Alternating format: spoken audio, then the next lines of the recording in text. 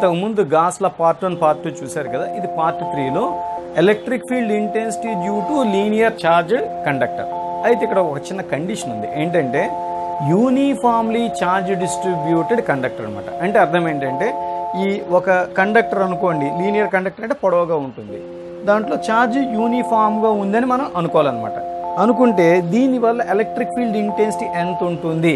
అంటే ఆర్ డిస్టెన్స్లో electric field intensity ఎంత ఉంటుంది అని గాస్లా ద్వారా ఫైండ్ అవుట్ చేద్దామని అనుకుంటున్నాం. ఓకేనా? సో ఇలా అనుకుంటున్నప్పుడు ఇదే కదా మనకు గాస్లా వల్ల ఉపయోగం. అవునా కదా? ఓకేనా? ఇప్పుడు ప్రాబ్లం ఏంటంటే ఇంతకుముందు మీరు స్పియర్స్ స్టడీ చేశారు. స్పియర్కి ఏంటంటే గాసియన్ సర్ఫేస్ డ్రా చేయడం చాలా తేలిక. మరి దీనికి ఎలాగా? డౌట్ వచ్చింది కదా. కాబట్టి ఒక చార్జ్డ్ కండక్టర్ ఇలా తీసుకోండి. అర్థం కావాలి అంటే.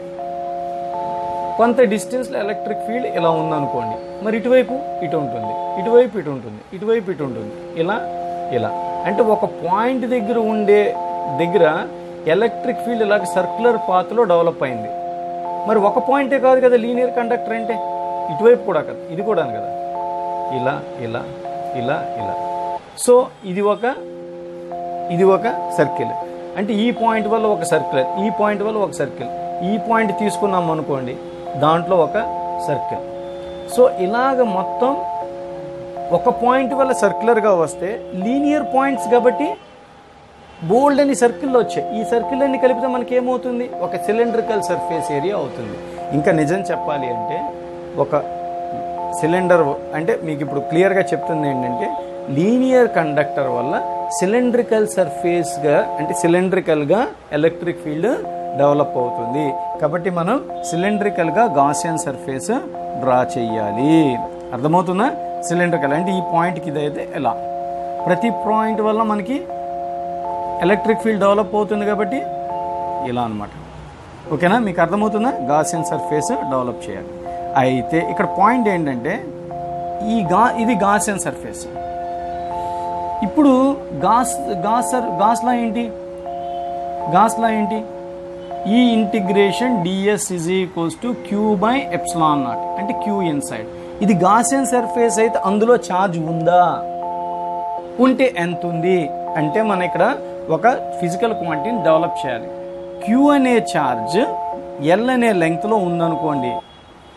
Linear charge density linear charge density lambda is equals to Q by L ఉన్నట్టు. అంటే ఎంత ఛార్జ్ ఉన్నట్టు? Lambda L. అంటే ఎల్ లెంగ్త్ ఆఫ్ ది వైర్లో ఎల్ లెంగ్త్ ఆఫ్ ది వైర్లో ఓకేనా? ఎంత ఛార్జ్ ఎగ్జిస్ట్ అయింది? ల్యాండా ఎల్ అని ఉంది. ల్యాండా అంటే ఎవరు? Linear charge density. Coulomb per metre.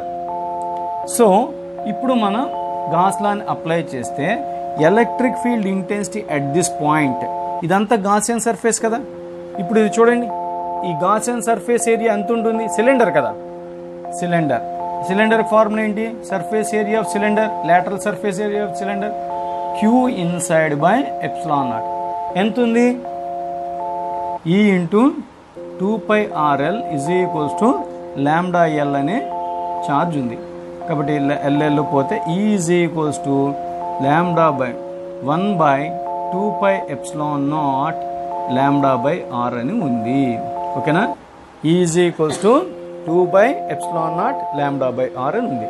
దీన్నే మనం is equals to two K lambda by R అని కూడా అంటాం. ఓకేనా? Two K lambda by R అని అంటాం. అయితే ఇక్కడ పాయింట్ ఏంటంటే ఇక్కడ పాయింట్ ఏంటంటే దీనికి ఏ షేప్లో ఉంటుంది? దీని గ్రాఫ్ ఎలా ఉంటుంది?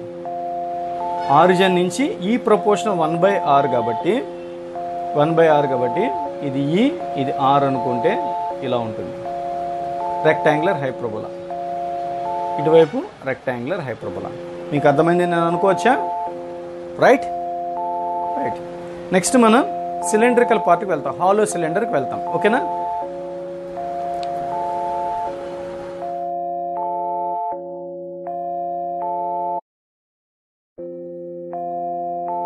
electric electrical field intensity of the hollow cylindrical shell. అది ఎలా ఉంటుందో చూద్దాం.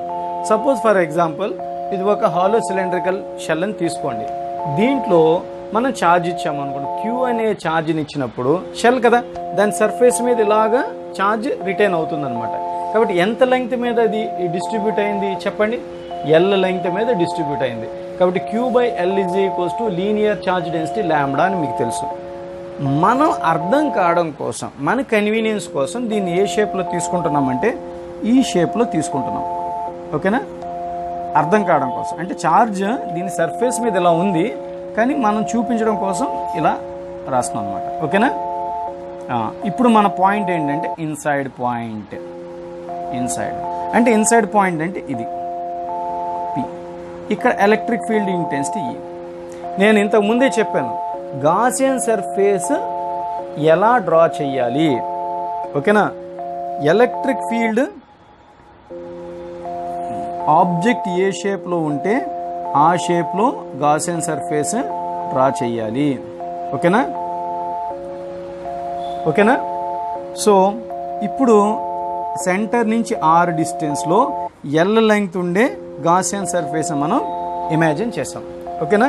సో ఫార్ములా ఏంటి? E e, E integration D S is equals to Q by epsilon naught అంటే E E Gaussian surface cylindrical part ఎంత ఉంది two pi R into L two pi R into L is equals to ఇది Gaussian surface అయితే ఎంత charge లోపట ఉంది?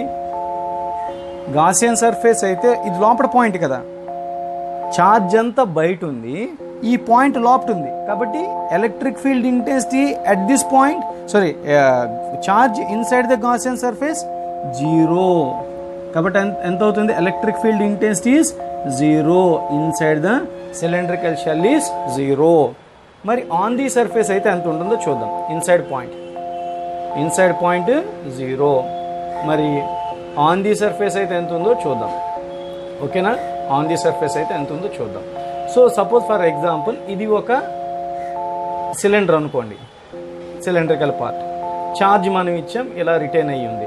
ఓకేనా charge మనం ఇచ్చాం ఇలా రిటైన్ అయ్యింది సో మనం ఇక్కడ electrical field intensity find out చేయాలనుకుంటున్నాం. ఓకేనా సో కాబట్టి ఈ ఎలక్ట్రికల్ ఫీల్డ్ ఇంటెన్సిటీ ఇలా ఉంది అంటే గాసియన్ సర్ఫేస్ కూడా ఏ షేప్లో ఉండాలా? ఈ షేప్లోనే ఉండాలా. అంటే సిలిండ్రికల్ షేప్లో మనం ఎజ్యూమ్ చేసాం. ఓకేనా ఎంత లెంగ్త్ ఎల్ లెంగ్త్ ఎంత ఎంత రేడియస్ ఆర్ రేడియస్. కాబట్టి దీని ఎలక్ట్రికల్ ఫీల్డ్ ఇంటెన్సిటీ మనం చూడండి నేను ఒక క్లియర్గా చెప్పాను స్పీడ్గా చెప్పట్లేదు. చెప్తున్నా అంతే. మీరు సార్ స్పీడ్గా చెప్పేస్తున్నారని ఫీల్ అవ్వద్దు. ఇక్కడ ఏంటంటే పాయింట్ వెరీ సింపుల్ అండి. ఆబ్జెక్ట్ ఏ షేప్లో ఉంటే ఆ షేప్లో ఎజ్యూమ్ చేసుకోండి. అంతే. ఆబ్జెక్ట్ ఏ షేప్లో ఉంది? సిలిండ్రికల్ షేప్లో ఉంది. సిమెట్రికల్ షేప్ కదా. సిమెట్రికల్గానే గాస్ సర్ఫేస్ తీసుకోండి. ఓకేనా సో గాస్ సర్ఫేస్ ఎలా వచ్చింది? సిలిండ్రికల్ ఏ షేప్ ఉంటే ఆ షేప్లో వచ్చింది. ఓకేనా గాసియన్ సర్ఫేస్ సో ఛార్జ్ ఎంత?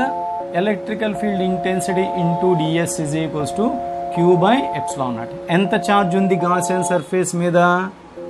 ఓకే ఎంత సర్ఫేస్ ఉంది? Q by L is equals to lambda కాబట్టి క్యూ ఈజ్ ఈక్వల్స్ ఎంత ఉంది? ల్యాండా ఎల్ ఉంది. సో ఈ ఇంటిగ్రేషన్ ఈ గాసియన్ సర్ఫేస్ ఏరియా ఎంత అవుతుందంటే two pi R L is equals to lambda L by epsilon naught. E is equals to lambda by two pi epsilon naught R. R E is equals to two lambda by two K lambda by R.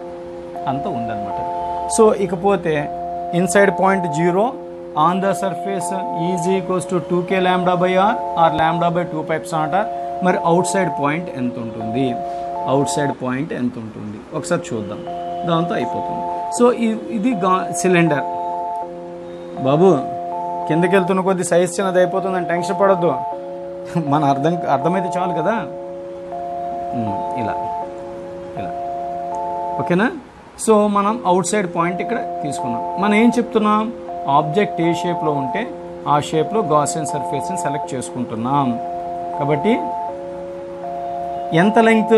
ఎల్ల length ఉండే Gaussian సర్ఫేస్ని select చేసుకున్నాం formula ఏంటి? E integration DS is equals to Q by epsilon naught.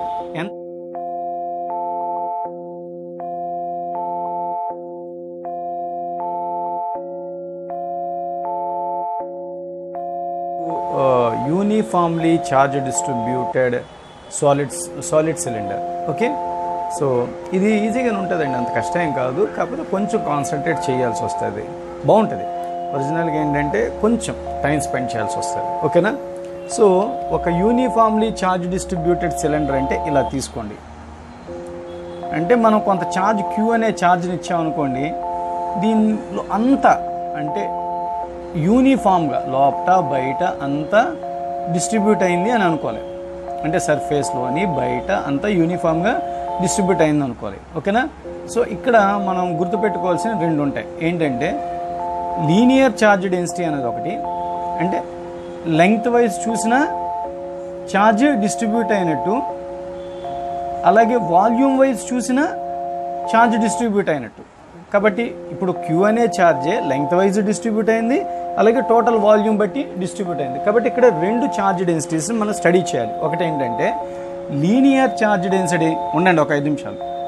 Linear charge density linear charge density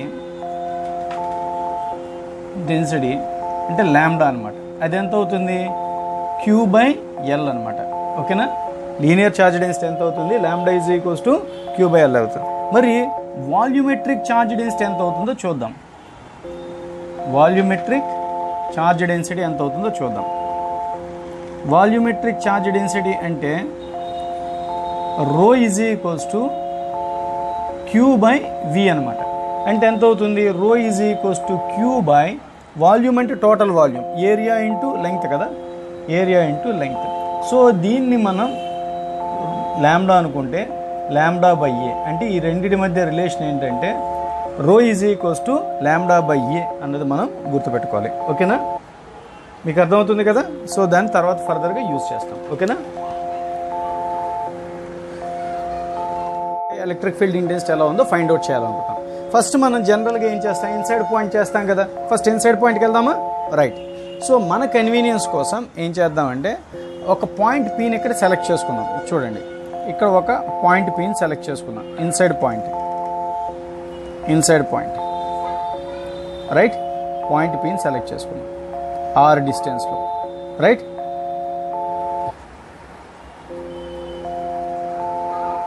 Gaussian సర్ఫేస్ని draw చేశాను ఓకేనా?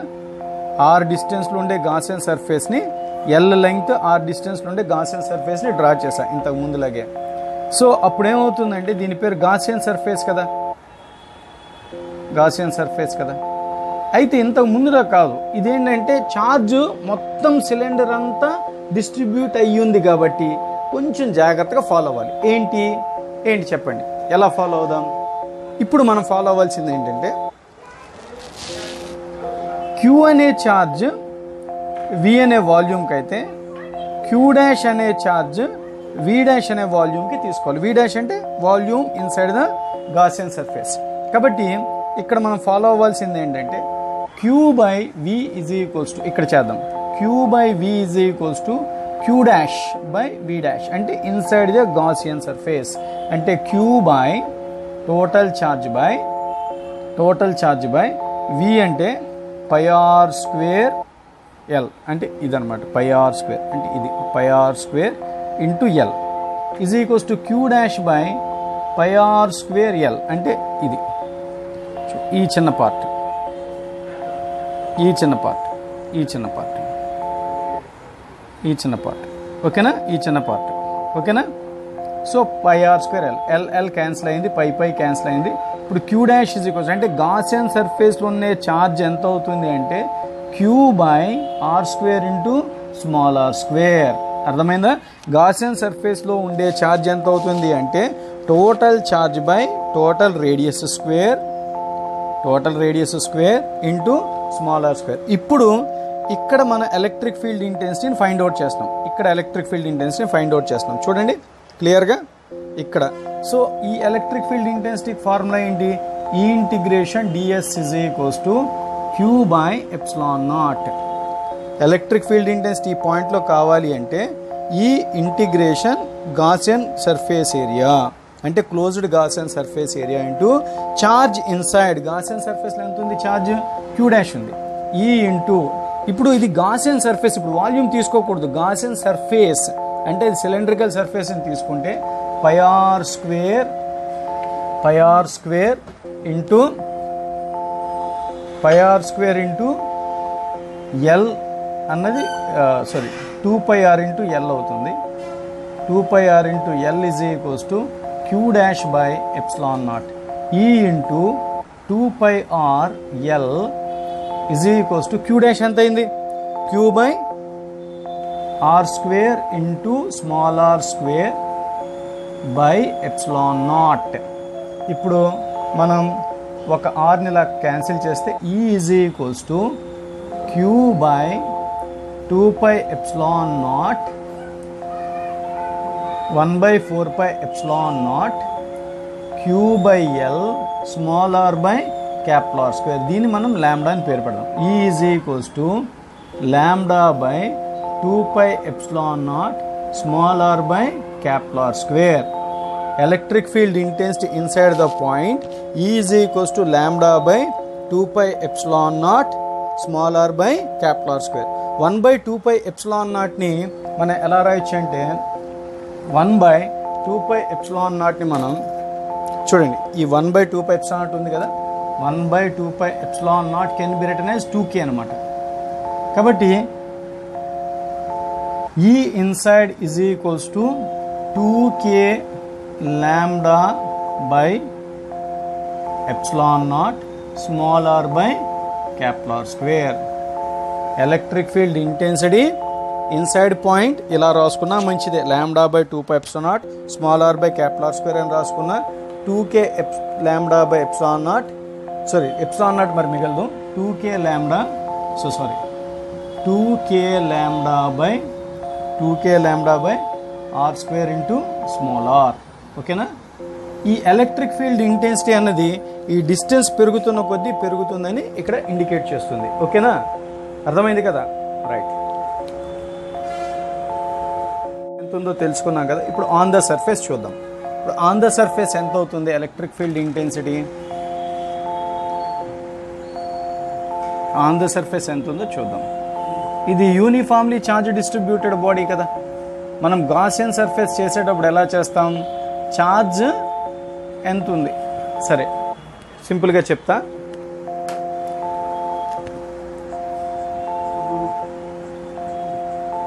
మన electric field intensity point మీద ఫైండ్ అవుట్ చేస్తాం సర్ఫేస్ మీద ఫైండ్ అవుట్ చేస్తున్నాం. ఇక్కడ ఆర్ డిస్టెన్స్లో ఉంది పాయింట్ పిని సర్ఫేస్ మీద సెలెక్ట్ చేసుకున్నాం ఇక్కడ ఎలక్ట్రిక్ ఫీల్డ్ ఇంటెన్సిటీ ఈ అనుకుందాం ఇది ఏ షేప్లో ఉందో ఆ షేప్లోనే గాసియన్ సర్ఫేస్ని డెవలప్ చేద్దాం. ఇదిగోండి చూడండి గాసియన్ సర్ఫేస్ నేను డెవలప్ చేస్తాను దీని పేరు ఏం పేరు? గాసియన్ సర్ఫేస్ దీని పేరు ఏం పేరు?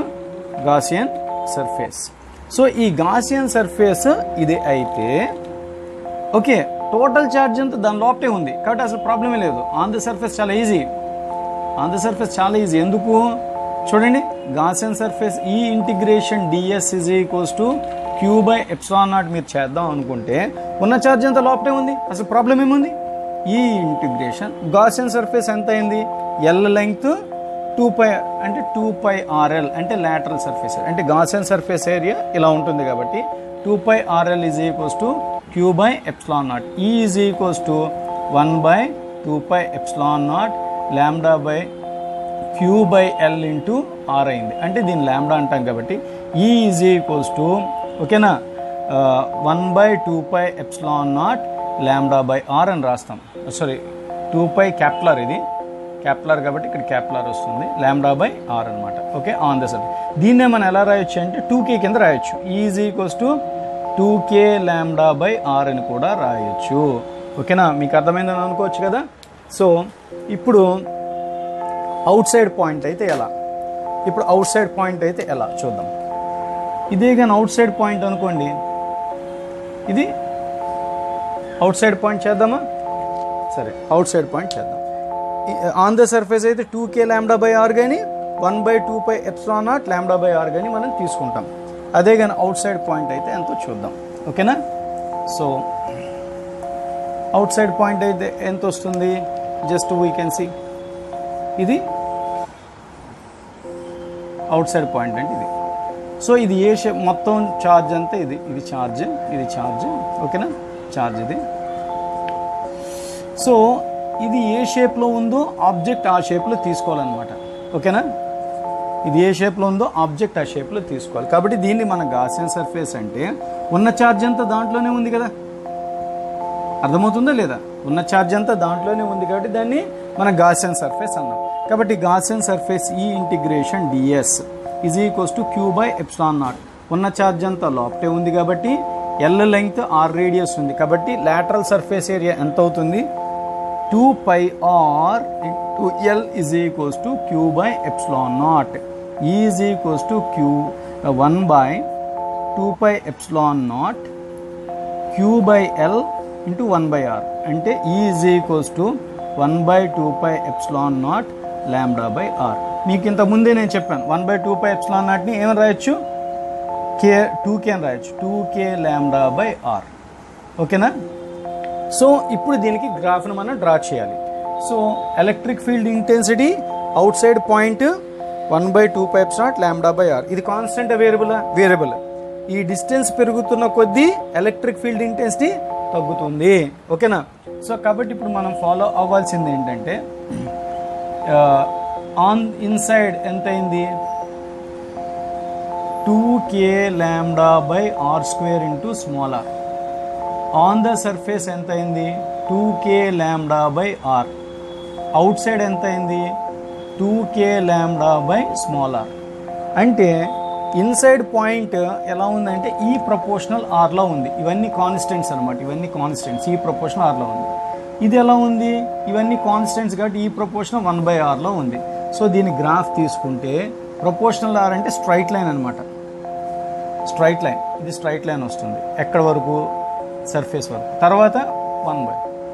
ఇలా వస్తుంది సో దీని గ్రాఫ్ ఇది. సో ఇది ఎంత అంటే టూ కే ల్యాండా బై క్యాప్లార్ ఇక్కడ ఉండే ఎలక్ట్రిక్ ఫీల్డ్ ఇంటెన్స్ ఇలా ఉంటుంది దీని గ్రాఫ్ ఇలా ఉంటుంది. ఇది ఎగ్జామ్ పాయింట్ ఆఫ్ వ్యూలో చాలా ఇంపార్టెంట్ జాగ్రత్తగా గుర్తుపెట్టుకోండి. యాక్చువల్ ఏమవుతుందంటే కొంచెం కూల్గా సరదాగా చెప్పాలనుకుంటున్నాను. కానీ టైం సరిపోవట్లేదు. టాపిక్ ఎమోషనల్ టాపిక్ తర్వాత టాపిక్స్ కొంచెం స్లోగా సరదా సరదాగా చెప్పుకుందాం. ప్రస్తుతం నేను కూడా అలవాటు పడాలి కదా. This is my beginning experience try to understand okay bye